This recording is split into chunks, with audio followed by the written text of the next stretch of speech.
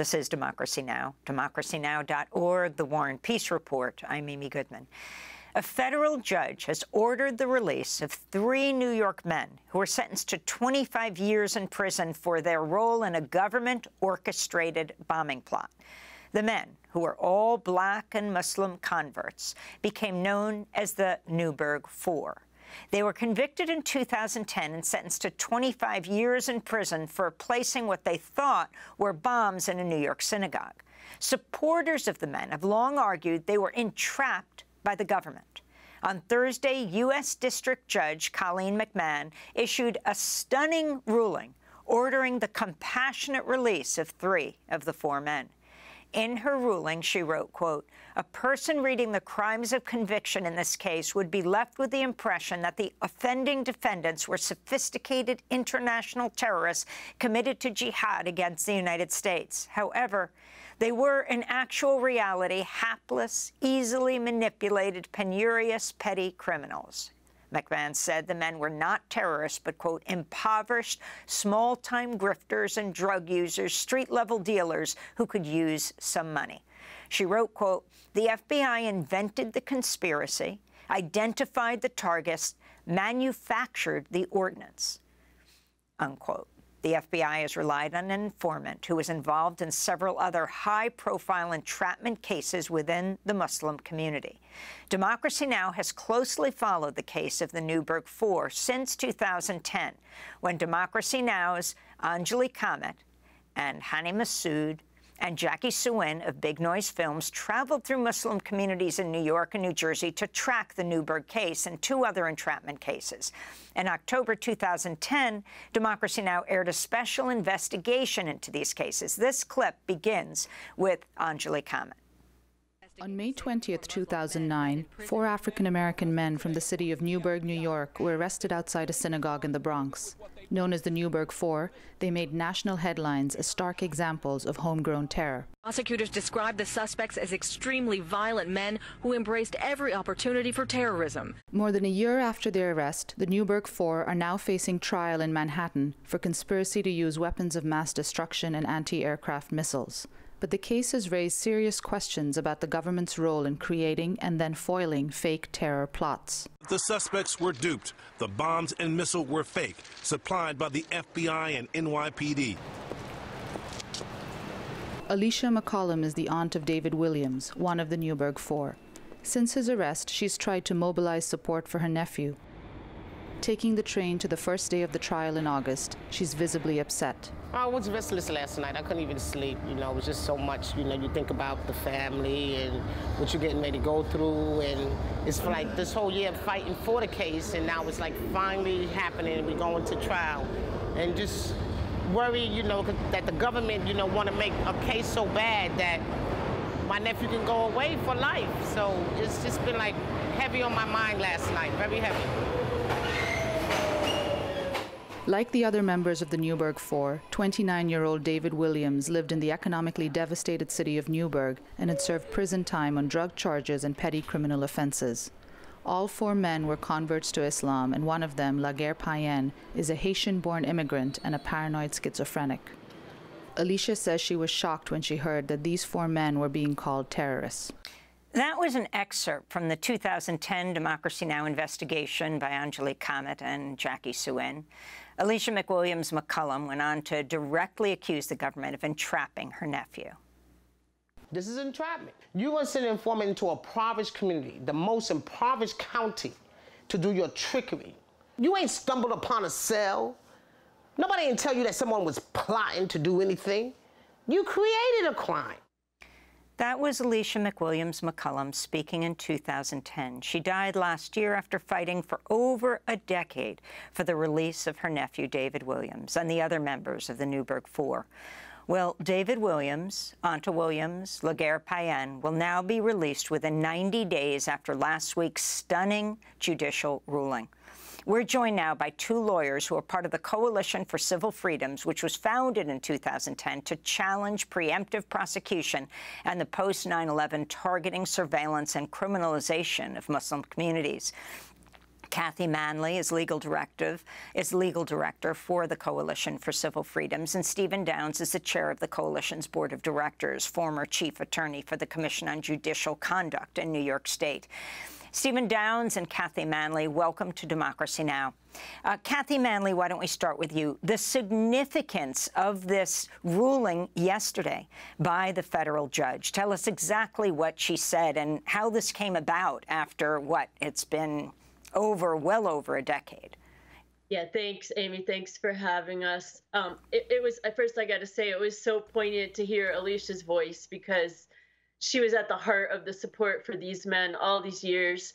She was she brought a lot of us together. She inspired us, and when we filed this motion, she was still alive, and we really, really wanted her to see this, to see them get released. And unfortunately, that wasn't to be. Hopefully, she's up there smiling, but this is a significant ruling. This was a wonderful decision. It took a year and a half to happen, but we're so happy that the judge was she always understood this case was unfair. She called it the unterrorism case from day one.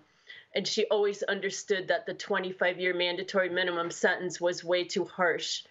And but there was nothing she believed there was nothing she could do about it because basically there is no entrapment defense in the law, and I can talk about that if I have time. But um, there was no way for her um, to avoid doing this, she believed. And when we filed this motion, that gave her an opportunity in a compassionate release motion to say this sentence is too harsh, and she did say so.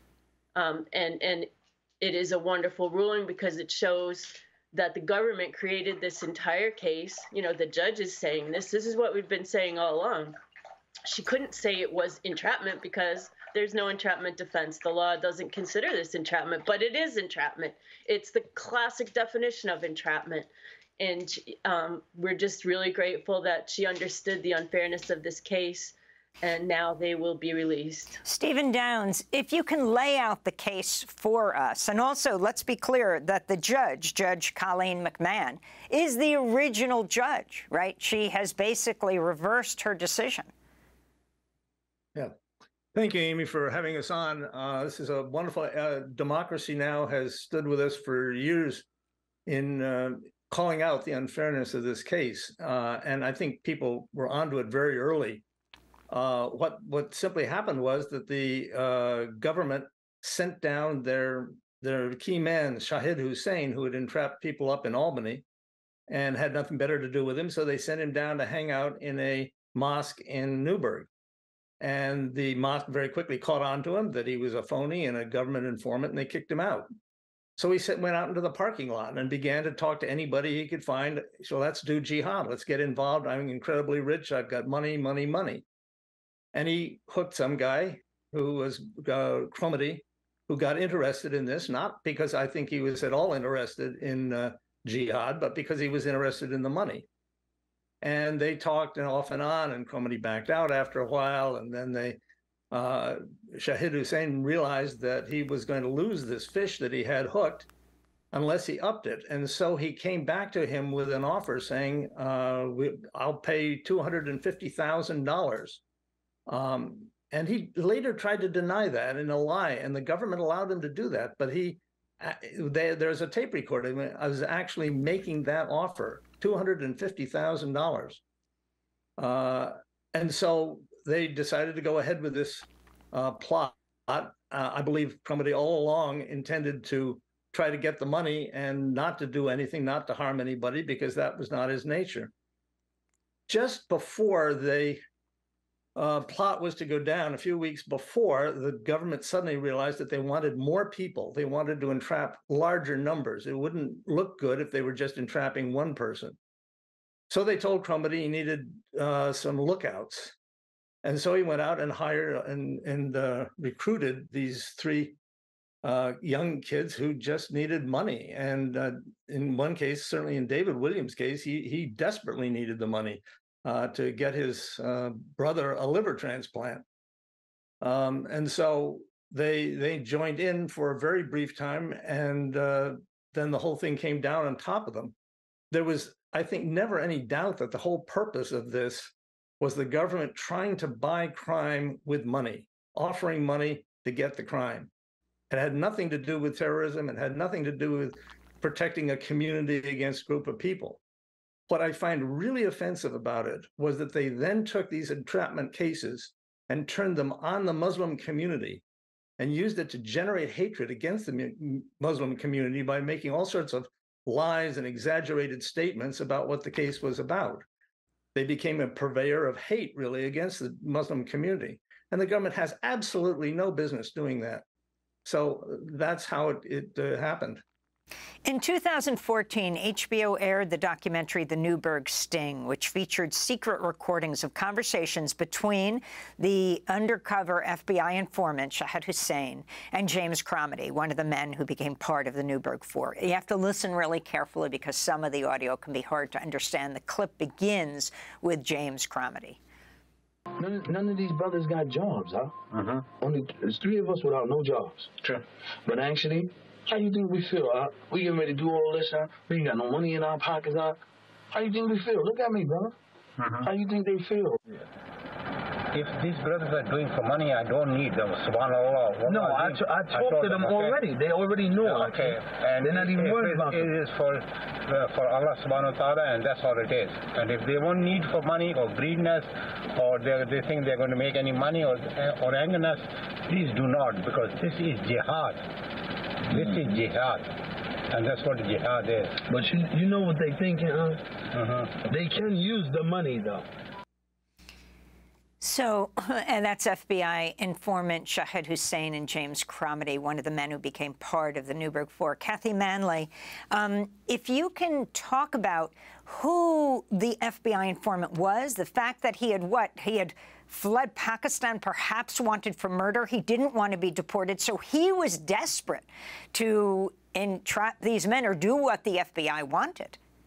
Yeah, he was he was at one point wanted for murder in Pakistan. I don't know the details of that, but after having seen his trajectory in the US, it's a a long trail of slime. Like he just kept ripping people off, conning people, tricking people out of their money, and then eventually was caught in um, a case where he was defrauding the DMV. He was getting people fake driver's licenses, working with a corrupt DMV employee, and the FBI was going to send him to prison and then deport him to Pakistan.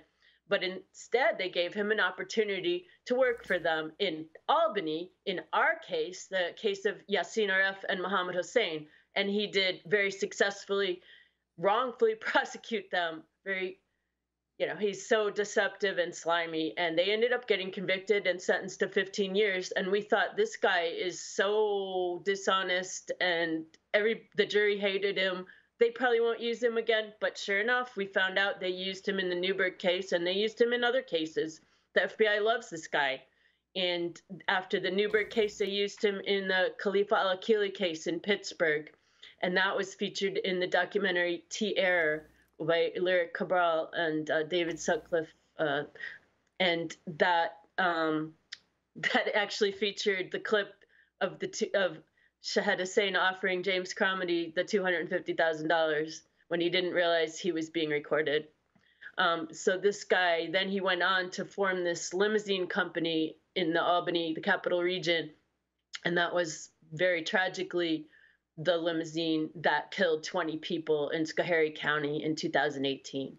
And he was in Pakistan at that point, letting his son run the company and basically telling him how to do it, telling him, don't worry if the brakes don't work. It doesn't really matter. We don't care. And uh, his son is now doing five to 15 year sentence while he sits in Pakistan hanging out with his super rich brother Malik, who kind of destabilized the government in Pakistan.